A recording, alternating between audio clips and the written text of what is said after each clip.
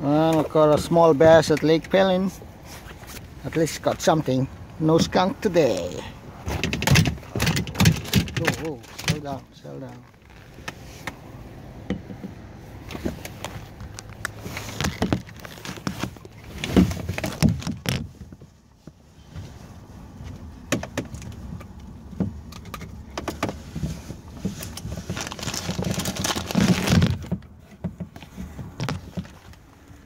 There's the best, not too bad.